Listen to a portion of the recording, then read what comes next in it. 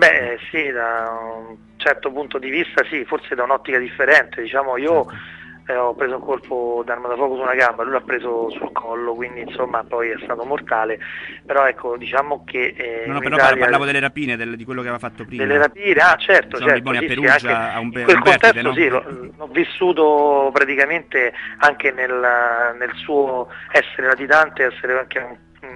un cane rabbioso eh, che voleva a tutti i costi cercare di sopravvivere in una Roma che l'ha ospitato in notturna metropolitana che poi ho descritto nel mio film eh, abbastanza bene, molto dettagliata e lui aveva comunque questo, questa legge di sopravvivenza, quindi doveva prendere delle prede per cercare di portargli gli orologi, portafogli, tutto quello che aveva per mangiare, per andare avanti e quindi anche per comprarsi l'arma che poi è stata praticamente quella che ha colpito a morte il carabiniere, quindi insomma ho descritto raccontato e ho vissuto rivissuto sempre come mi capita quando ci sono questi fatti un po' particolari, quello che è stato un po' il mio passato reale. Certo, ricordiamo poi il protagonista che era Massimo Bonetti, che saluta Massimo Bonetti. un grande interprete, un grande attore, insomma. Ha interpretato magistralmente il ruolo di Luciano Liboni, è stato veramente bravo, devo dire è credibile, ha creduto nel personaggio perché molte volte si prendono attori che fanno un po' delle marchette e non credono in quello che fanno. Devo dire Massimo ha creduto molto nel film e infatti il lupo era lui veramente, non potevo fatto la scelta migliore, in quel momento mi sono reso conto che era entrato nel, ruolo in pieno ed ha portato, ha trascinato con sé tutti quanti, veramente un grande attore completo è anche una, grande, una gran brava persona, gran brava persona, cioè Massimo, tra l'altro saluto diciamo, con amicizia. E invece sì, parliamo sì. del peso nel, dell'aria, e invece i protagonisti sono dei protagonisti piuttosto, eh, tra l'altro qualcuno viene anche dalla fiction, tipo Giampiero Lisarelli per esempio. Beh, Giampiero Lisarelli secondo me ecco, è, è un po' errato dire che viene dalla fiction perché lui viene dal branco di Marco Risi come primo film suo, come protagonista per la prima volta sullo schermo, film che poi è andato a Venezia, Giampiero è andato a Venezia con una prima volta sullo schermo con quel film e poi ha fatto anche L'odore della notte di Claudio Caligari, quindi viene dal grande schermo, poi è entrato nel piccolo schermo come tanti, purtroppo poi per la necessità di questo lavoro bisogna pur vivere e certo. ha fatto queste cinque serie di carabinieri, però devo dire che io eh, non ho visto 5 minuti di Carabinieri di Sarelli, io ho visto il branco e l'ho apprezzato e l'ho scelto e lo stimo proprio per quello che ha fatto a livello cinematografico in quel contesto e come ripeto per la prima volta sullo schermo. Invece a proposito di prime volte abbiamo Brunella Denardo che è la protagonista femminile che è la sua prima esperienza e devo dire abbiamo fatto una preparazione di due mesi e mezzo all'interno di Cinecittà Studios dove sono i nostri uffici ed è stato fatto un ottimo lavoro e devo dire sono soddisfatto, affiancato da un cast comunque io faccio la parte dell'usuraio e quindi il ruolo di Stefano Nissiroli, poi abbiamo Claudio Angelini, Brescio Angelini, abbiamo Vincenzo Crocitti, a proposito di ecco, grandi attori del passato che passato, certo. insomma, ricordiamo su un borghese piccolo piccolo di eh, grande, il grande Alberto Sordi, faceva il figlio, poi eh, Cinzia Mascoli, Corinne Clery che fa la mamma sì, della protagonista, insomma è un cast di tutto rispetto, attori che secondo me hanno creduto, ecco, come ripeto, a quello che è il contenuto della storia, quello è la cosa importante. Lunedì battiamo il Ciacca, iniziamo e quindi insomma, speriamo sicuramente che eh, il gruppo che ho portato sia già amalgamato bene, io li faccio conoscere prima, facciamo delle letture perché quando si era sul set non ci devono essere prime donne o persone che non si conoscono, quindi è molto importante anche questo. Torniamo ancora, prima di eh, finire di parlare poi del film, naturalmente voglio, poi voglio sapere anche quando uscirà, insomma quando è previsto l'uscita eccetera eccetera, però torniamo ancora un attimo al tema eh, principale del film che è quello che parte poi proprio dalla precarietà, eh, quello che attualmente eh, in, nella nostra società ci sono eh, tanti giovani, poi mh, dicono spesso la, il modo di dire di tutti è questo, le parole di tutti sono che i matrimoni, eh, poi questa è la statistica tra l'altro, i matrimoni diminuiscono, i divorzi aumentano, ma non è soltanto un fatto di crisi di coppia, io penso che sia un discorso, in questo momento eh, ci sono delle generazioni di giovani che guardano al futuro con uh, un senso di precarietà e incertezza sicuramente a livello lavorativo.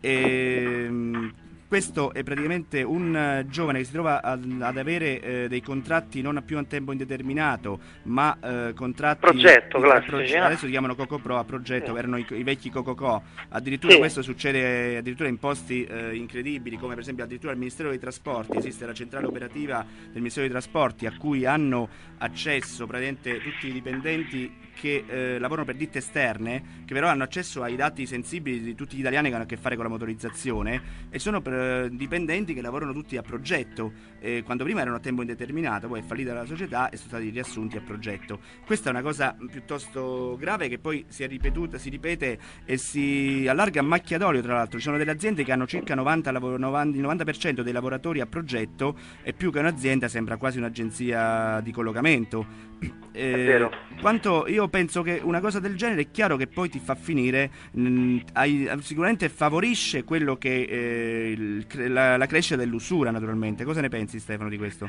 Eh, io penso esattamente quello, quello, che hai detto tu, è, è non è un punto di vista ma è un teorema, è piena verità, è pura, perché poi adesso poi il contesto è diventato anche diverso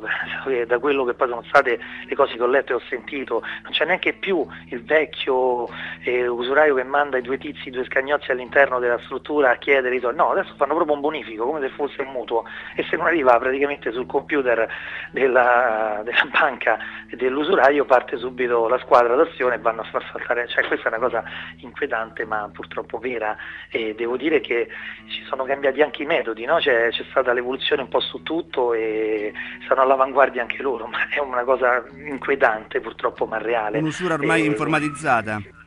Sì, infatti, e questa è una, una cosa che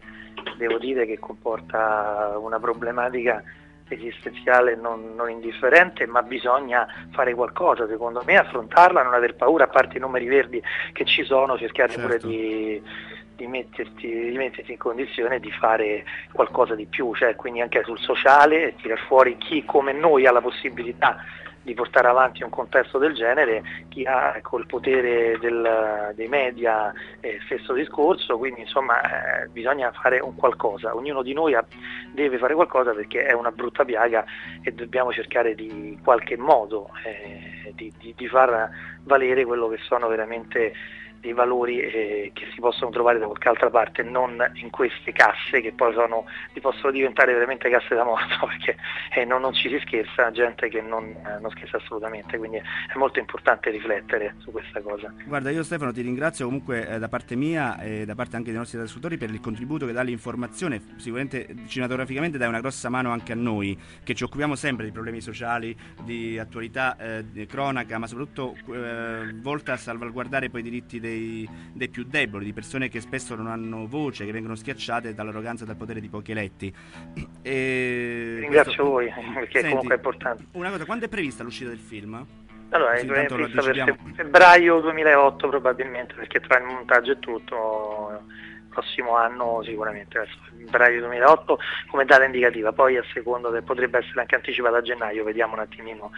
anche dal, da quello che sono le uscite, perché noi siamo una piccola produzione e, e distribuzione. Ricordiamo la Poker Film proprio. È la Poker Film, sì, sì, quindi è una produzione indipendente che è mia di Carlo Bernabei e facciamo ecco, forza su questa distribuzione e produzione, però insomma siamo andati ecco, con Lupo in tutta Italia, abbiamo toccato tutti i capozona d'Italia e quindi lo faremo anche con questo e, e abbiamo previsto per febbraio 2008, poi insomma, salvo complicazioni, ma mi auguro che non ce ne siano. Perciò ricordiamo che il primo Chuck sarà... Eh lunedì sarà dato proprio a Guidonia eh, sì. a Guidonia lunedì insomma il 2 luglio appunto sì, cioè lunedì prossimo dopodomani e sì. naturalmente eh, per quanto riguarda invece l'uscita poi io prenoto già una puntata che abbiamo già, abbiamo già parlato. Tra l'altro dedicheremo però interamente al film insomma quando sarà realizzato chiaramente. Perfetto vai grande benissimo. Bene io ti ringrazio tantissimo per essere stato con noi e in bocca al lupo per, uh, per, tutto insomma per l'inizio di questo film e per inizio soprattutto per l'argomento veramente complimenti per l'argomento trattato trattato perché eh, non è facile neanche da trattare, ecco, bisogna trattarlo anche con coraggio, ma oltre certo, che con professionalità. Bene, bene, grazie, grazie ancora. Ciao Stefano, grazie e buona giornata. Bene, ritorniamo ancora con noi, ringraziamo Stefano Calvagna.